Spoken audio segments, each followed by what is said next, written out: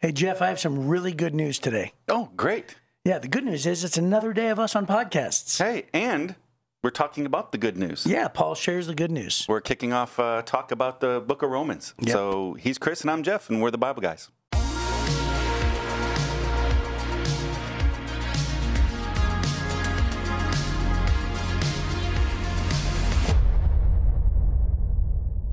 So, Jeff, today we are handed a segment that we have not done actually in quite a while Yeah. called This or That. These are fun. Yeah, they are fun because it's all it is is just uh, your opinions and your choices. And we have plenty of those. Yes, of course. so it just it says this or that. Which one would you rather either do, have, or be? Okay. So here's the first one. Okay, here we go. Would you rather have unlimited tacos or unlimited ice cream? Oh, no brainer. Unlimited tacos. Yeah. Uh, so for me, What it's about you? well, it's the wrong choice, but it's unlimited ice cream. Really? Yeah, I love love tacos like the universe. The universe loves tacos. Uh-huh. Sure, sure. Right. Uh, however, uh, ice cream is the one thing that is my downfall. Wow. Like I could eat ice cream all the time, Wow. Okay. all the time, Yeah. and there's I, so many choices, just like tacos. I, I, I love ice cream, but I have like limited, like I, I can go once a month with ice cream and I'm perfectly fine. Oh, Like like a taste of ice cream. oh, I could do ice cream if it, if it wasn't like the thing that is Mm-hmm. super sugary and fat. I could probably drink a shake a day. Oh, wow. Yeah. Wow. Yeah. See, you have a shake problem. You have an ice cream problem. It sounds like. Yeah. Now I like a good gelato, like a nice creamy chocolate gelato. Ah. I love that. All right. Question number two. Okay. Would you rather wear a tux to work every day, or have to wear pajamas to work every day? Oh, uh, uh, tux. I'd rather wear a tux to, to work every day rather than pajamas. You are insane. Really? Why? Why would you be formal? Well, you look so fancy. Well, who cares about how you look? Well, you dress for success. Uh, how about dress for comfort? I, you know what? The older For I get, and, but with the rest of the world too, Yeah. the older we get, the more we realize the comfort becomes the priority, Right. Right. Right? So you know, I think that's the reason why people, the older you get, it's just it's just all about Well, they go from soft, all the other shoes to New Balance. right? Right. right. all the men start finding like stretchy pants. Right, Yeah. Yeah. right, yeah. right, yeah. right. Comfort. Well, I can see that. Yeah. So let me ask you a question: When you get home from work, and let's just say you're in jeans and a button-down shirt, Mm-hmm. do you not immediately change into something more comfortable? no. Nothing. No. Never. Do you have a set of pajamas? No. Not a whole set. Do you realize how many sets of pajamas I have? Oh, I'd imagine a bunch. I would say thirty. What? Yeah. You collect pajamas? No, it's just what I have. Well, you have to. Thirty of anything seems like a collection to me. I wear pajamas every day. Wow. Yeah. So Yeah. no. I'm sorry. That's hilarious. Wow. Okay, I think That you're. In sounds sophisticated. Though. I think you're in the like, like, are minority. you talking pajamas that button up and a collar and the whole nine yards, like Mr. Cleaver? uh, well, it's From Leave It to probably not Beaver? what you're thinking. It's not Uh-huh. like silk, proper pajama set. Oh, because I'm envisioning you now, like in a smoking jacket at night, sitting in dim light, in your, you know, you- you fi- realize- finely paneled You do realize the majority of guys' pajamas are just the bottoms, and then you just wear a t-shirt with it. Oh, okay. That's the popular thing. But- Okay. Uh, well, but- I, I have a pair of pajama bottoms, I guess. Okay, all right. Yeah. Well, I, I do have several sets though. Okay. Yeah. I do. Well, apparently 30. Um, yeah. I Wow. mean, there's a lot. okay. Okay, how about this? Well, that's Uh, amazing. Sorry we spent so much time on that. I'm just blown away. That's all right. Mm-hmm. Uh, uh, would you rather watch all your movies and TV shows in half speed or double speed? Oh, double speed. Yeah, no, no, Totally. no brainer. Yeah, yeah. Yeah, who would want to go half speed? Yeah. yeah. Whoa, I don't know. You're a movie buff. Maybe you'd enjoy it twice as much. It took twice as long. Maybe it reminds me of uh, it reminds me of um, what's that one uh, show with the fox and the and the sloth and the sloth is there Oh, at the- Zootopia? at the, DMV. Yeah, yeah, yeah, yeah, That's yeah, hilarious. yeah. Okay, how about this number four?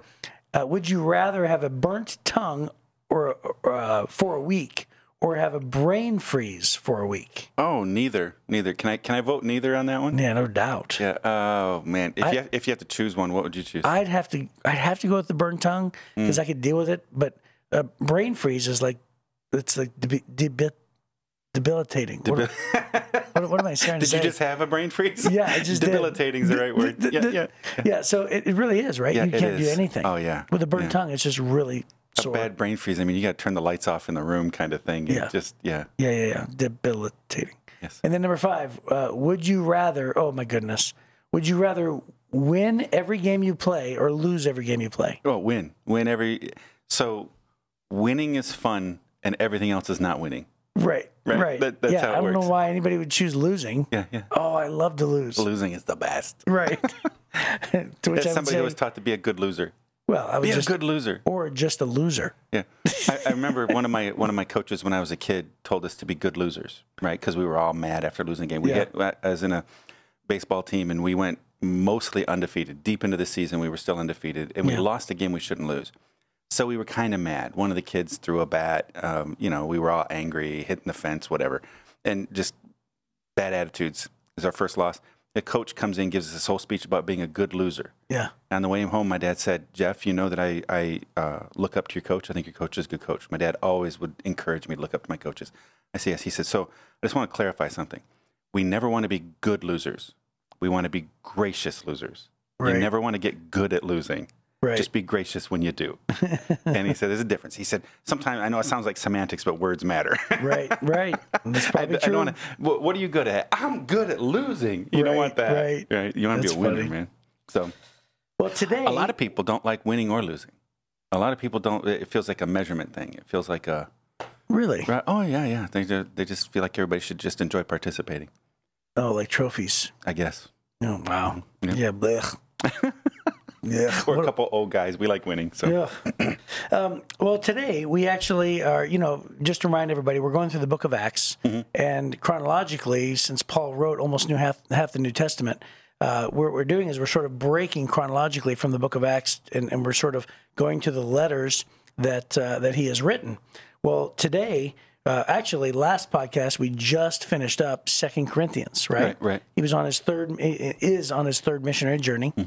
And, and today he's going to take a surprising jump directly from Second Corinthians to Romans. well, uh, I don't think we're going to put it on the screen, but there is two halves of a verse that says, "Then he traveled down to Greece, where he stayed stayed for three, three months." months, right. That's in the Book of Acts, and then we're moving on. During that time, the three months that he was in in Greece, he wrote the Book of Romans, as far as we know. And, and this is interesting too because uh, number one, Romans doesn't uh, read like a typical letter. Yeah. And then number two, this is actually a church that he has never been to. Right. That's why. That's why I think the, the other ones are so personal, Yeah. and this one's pretty academic. Yeah, and because uh, th- this church most likely was started by the Jews that uh, came up from uh, uh, Acts chapter two, the Yeah, Pentecost, Pentecost.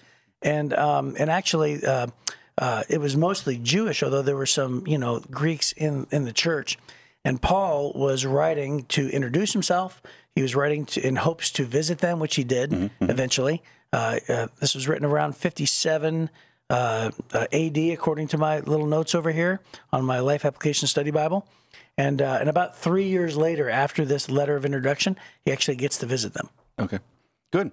So we're just going to pick up, and Paul wastes no time. Yep. Within just a few verses, he gets into some really big stuff.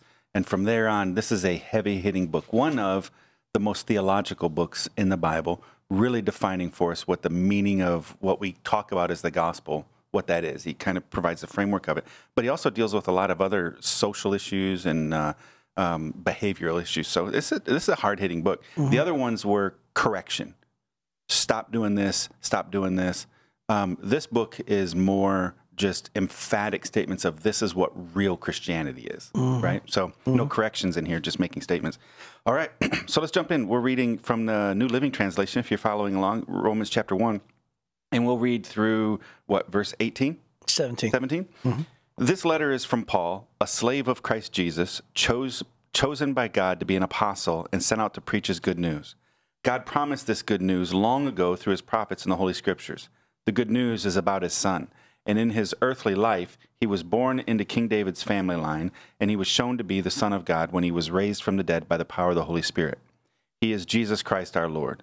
Through Christ, God has given us the privilege and authority as apostles to tell Gentiles everywhere what God has done for them, so that they will believe and obey him, bringing glory to his name. And you are included among those Gentiles who have been called to belong to Jesus Christ. I am writing to all of you in Rome who are loved by God and are called to be his own holy people. May God our Father and the Lord Jesus Christ give you grace and peace.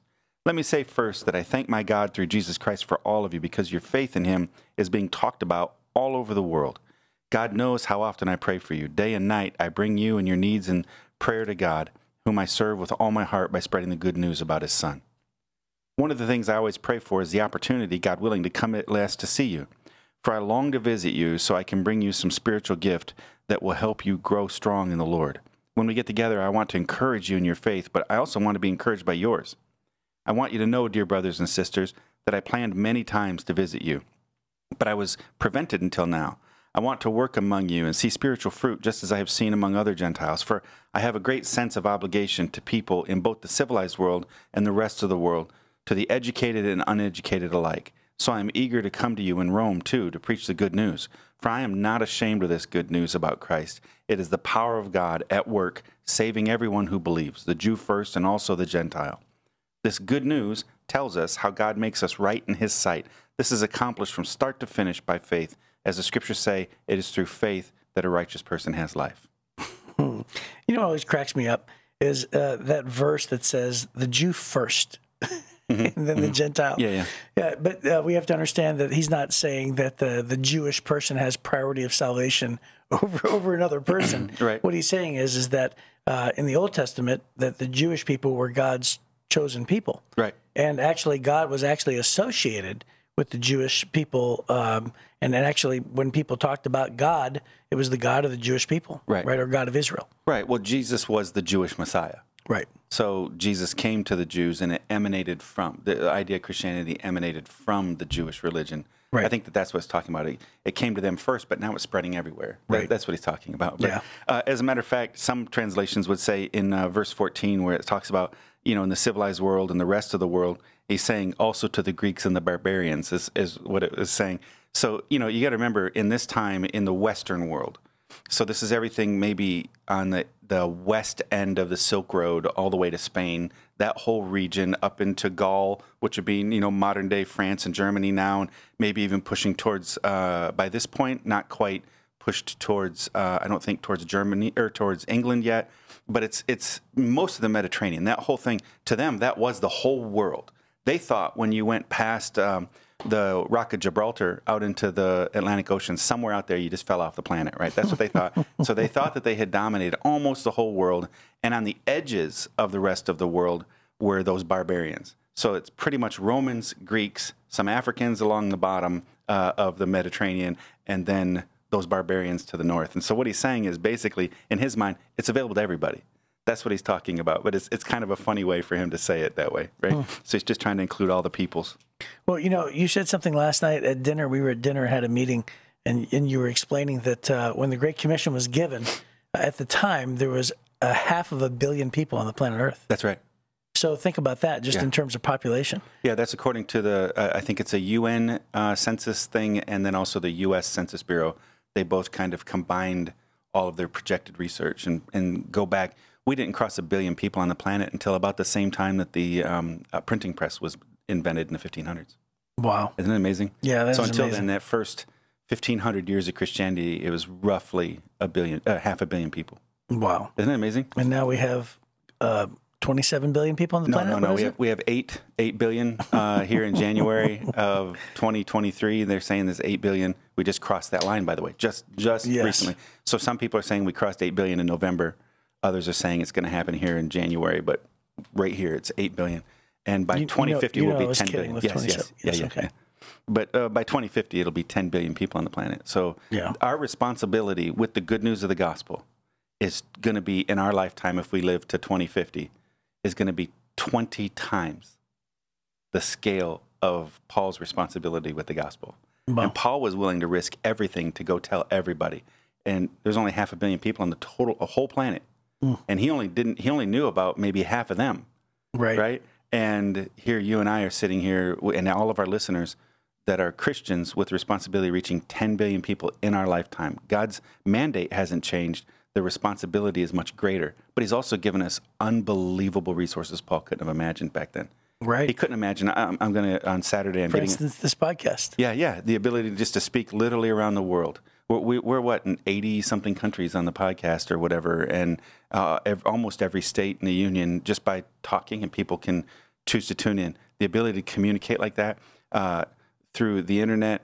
Uh, I'm going to get on an airplane on Saturday. I'm flying to Egypt, and then after Egypt, I'm flying on to India. And the idea that I'll be in Egypt in less than a day. Less than 24 hours, I can be in Egypt, right? That's unbelievable. Yep. Paul couldn't, it would take him months. And we can do it in 24 hours. And so, uh, with this great responsibility, God's also given us great uh, uh, opportunity and ability. And Yeah. so, this idea of him saying, Hey, I'm planning, he basically, this letter is an introduction to himself saying, I want to come and visit you. And uh, here's why I think we're going to have a meaningful ministry together. Yeah, and and uh, and he definitely talks about Jesus here, introducing Jesus as the foundation, and and uh, and as he speaks about Jesus, he talks about uh, the verse that stuck out to me was he said he was born into King David's family line, Right. and he was shown to be the Son of God when he was raised from the dead by the power of the Holy Spirit. He is Jesus Christ our Lord. And uh, and so I, that immediately thought made me think of the two genealogies in the Gospels. Yeah. So you know, if when you're reading the Gospels, Matthew, Mark, and Luke, and John, which all talk about the story of Jesus, in Matthew there's a genealogy, and it was written um, uh, to to uh, it was written from Abraham, right? Abraham to Joseph, and really he was writing to a Jewish audience and and, and establishing the, the the claim that Joseph had through David, King David, and then the other genealogy is in a couple chapters into the book of Luke, and it actually goes backwards from Joseph all the way to uh, Adam. For Adam, and of course through David, of course, Right, right? right. And so it's just you know just sort of showing the uh, you know the humanity of it, and and and just the you know again proving that he's from King David. Yeah, both of them showing that, that both Mary and Joseph were in the royal lineage of King David. Right. Right. Yeah. Right. It's pretty incredible. So this idea then, you know, Paul is starting off in introducing himself to strangers, but they're not strangers. They're godly people who have a famous reputation for godly people. He just hasn't met them yet. And so he's reminding them that the commonality for all Christians is not a political affinity. Uh, the commonality of all Christians is not that we have the exact same social views or anything. The commonality for all Christians is that Jesus Christ uh, is the Son of God and he rose from the dead for salvation Yeah. right of all humanity that that's the common thing and so we can have common fellowship with others that are different from us in christ and that's what he's trying to point out You know, I, I remember the first time I took a massive missions trip over to Africa, and I realized that as different as that culture is and those people are, they to me, I thought, man, this is going to be so different. And then I realized how alike we are. Uh, you know, uh, there's a lot of you know things that we share. You know, family traits and loving, loving our kids, and you know, so so it's it's like wow, these these guys are really not that much different. But honestly, it was the commonality of Jesus. It was like it was like we they accepted me and I accepted them, and just we felt immediately like we are brothers in Christ Right. or sisters in Christ. Yep. So it was just it was really interesting to me how I felt what you just said. I felt it, Mm-hmm. Yeah, I have and I actually thought like, whoa, that is amazing. That's an amazing feeling. yeah uh, so you know there's times when i've gone into places where normally uh, it might it might be dangerous um, or for outsiders or it would be extremely uncomfortable but immediately those walls are torn down because of our commonality in christ right and this is uh, the universal i believe universal appeal of jesus is that um, in galatians paul says that there's no more uh, jew or gentile there's no more slave or free there's no more male or female we're all one in christ and this is kind of what he's appealing to to the Romans here.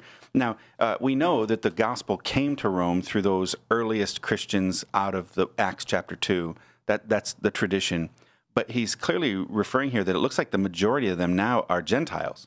Because in verse 8, or is- verse 6, he says, and you're included among those Gentiles who've been called to uh, belong to Christ. So it seems like this is a majority Gentile. So basically, um, you know, uh, Romans, these are Romans, and um, uh, so he's appealing to them from that standpoint. Also, the way he writes this book is very logical, right? It's not emotional or philosophical.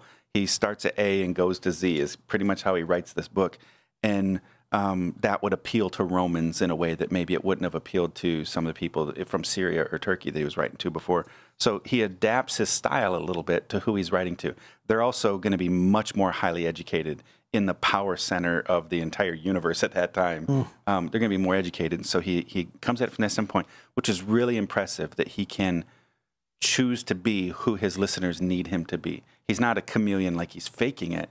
It's just that he has the ability to simplify things when he needs to simplify it, or he, he has the ability in this book to step up to the plate and go, all right, let me lay it out there on a you know pretty advanced level, and Yeah. I, I know you guys can keep up. Yeah, and Paul had the unique privilege of actually being a Pharisee and a Roman citizen. That's right. So, uh, being a Roman citizen, you know, he has credibility right from the start. And um, and when he's writing, uh, he's actually, you know, sort of introducing the fact that you know God is is not just for the Jewish people, for the Gentiles. And the reason why is because we have to understand and keep in mind that uh, the reason why he writes this is he's setting the stage because the word apostle, we call him the apostle Paul. The word apostle means one who is sent, right? And so he's actually given a mission by God to reach specifically those people who are non-Jewish. Right. So that that's the definition of the word Gentile. So just keeping in mind that when he's writing about Jews and Gentiles, he is the he is the leading expert in the world about Right. about telling everybody, hey, listen, Jesus died on the cross, and his gospel, his good news, is not just for the Jewish people anymore. It's for everybody, uh, barbarians, pagans, Yeah, yeah. right? For you know Gentiles, anybody. And so it, it, I, I love the fact that he's setting the stage that way, and everything who he is, everything about who he is, supports this letter. So what we do, what we see is at the very beginning, his very first sentence is shocking. I'm a slave of Christ. For for a Roman citizen to embrace the idea of being a slave, what he's doing is he's recognizing Jesus bought me with his blood, and now I serve him unquestionably. So he starts off very humble, but by the end of this first 17 verses, he's saying, "But I'm not ashamed of the gospel of Christ, because it's the power of God to salvation." And uh, so then that sets the stage. Humble serving. I want to humbly serve you, but we're not ashamed of this power of God that brings us to salvation. It's available to everybody through faith. And the whole rest of the book unpacks that idea. Yeah. And what a great verse to memorize. Uh, Romans 1:16 for I am not ashamed of this good news about Christ for it is the power of God at work saving everyone who believes. Yeah. And so it's just a it's just a great reminder that uh, when it comes down to you know bringing up conversations about God or talking about your faith, even though that a lot of people like to keep it private, um, you know we're supposed to not be ashamed. Uh, you know it's interesting why people want to keep their faith private because you know sometimes the church has gotten a bad rap over the years, and we deserve most of that bad rap. Uh, but for the majority, for the majority of people, they don't have a bad church experience. But I think that a lot of us in this culture, we listen to culture, and culture's like keep your religion private, keep your faith private. You know, and that's sort of that's sort of the narrative, right? But but you know, as long as you're doing it, you know, not with you know spiritual manipulation, you know, or, or being you know uh, all the all those different negative things, you know, just just be not ashamed of your faith. Share your faith. Right. Be proud that you believe in God and His Son Jesus Christ, and tell people without a doubt that's the reason for your happiness, your joy, and everything else. The only power to save people from their sins and to change their lives is the power of God unto salvation. Yeah. And so that comes from the fact that we're not, we, we that's why we shouldn't be ashamed of Right. this good news. So, Well, it looks like we're right at that time, so Yeah. we're excited to pick up uh, tomorrow, and we'll hopefully see you then on the Bible Guys.